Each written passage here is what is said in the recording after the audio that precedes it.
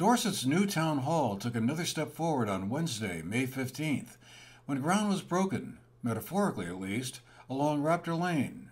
Construction of the new 5,200 square foot building will begin soon, with a goal of being ready to move in by next May 2025. The new Net Zero building will house all the town offices currently located at the Town Hall in East Dorset. It's been a long time in the making. The site was identified more than three years ago and followed a public vote, but the plans and blueprints have been changed and modified since then. The building is expected to cost about $3.6 million. The current and soon to be former town hall will be taken down and turned into a town green space. Megan Thorne, the chair of the Dorset Select Board, gave the opening remarks before turning it over to town manager Rob Gaiotti. Before we begin, I'd like to take a moment to recognize our town manager, Rob Gaiotti. Uh, we would not be here today without Rob's hard work. He's worked tirelessly on this project and shepherded the process through from the very beginning, which was some five years ago.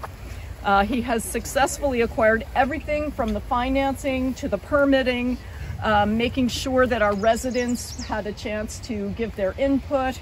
Um, and he has also been working with our architects and our contractor to make sure that we are going to be coming in on budget, which was no mean feat.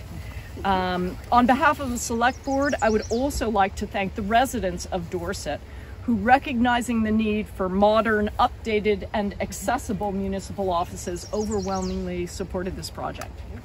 So now I'd like to turn it over to Rob, who will talk a little bit about our journey. Sure. Um, like Megan said, this project, uh, more or less, the idea was born uh, somewhere around 2018, 2019. Um, in 2018, um, we, the town was fortunate enough to do a bargain sale for Raptor Lane, which the property is, it's 308 acres, and um, it assessed at, at the time at 1.8 million dollars. We were able to do a bargain sale and purchase it for $100,000. The next step was to figure out what to do with it, um, which was, uh, you know, a, a, seemingly daunting task, but we were lucky enough to have a, a really good committee of residents that went through about a, I would say about a 10 month, eight month, 10 month, yeah, maybe a year, about a year process to uh, to uh, to meet uh, to try to find kind of the highest and best use um, for the property. Uh, they did some surveys of residents, um, which we got actually some pretty good participation. I think we had, you know, at least a, a couple hundred um, participants in the surveys.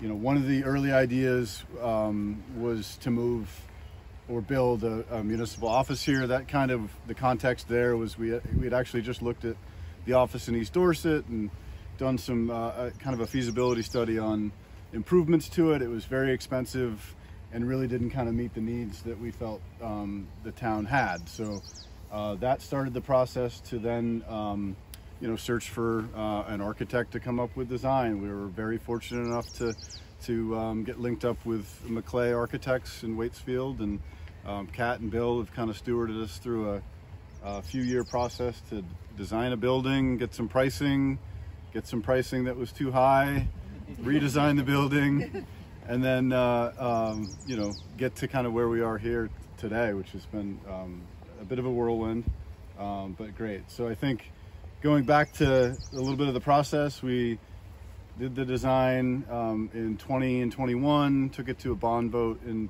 August of 21, um, selected a construction management firm, put out the first bit of pricing, um, then had to do a redesign. So about the last 18 months, we've done a redesign, reprice, and then um, got permits. So now we're, um, you know, we've repriced, got the pricing where we need it, um, got a construction contract, and we're basically ready to go. It'll be quite a change of pace from the current building to the one to come next year. The entire building will be ADA accessible and comply with all municipal regulations. Parking space will be doubled, along with storage for town documents. The new location will be near the Owl's Head hiking trails. The main access to the town forest hiking trails will be moved from its current location off of Black Rock to the Raptor Lane property just beyond the new town office. For the GNAT TV News Project, I'm Andrew McKeever.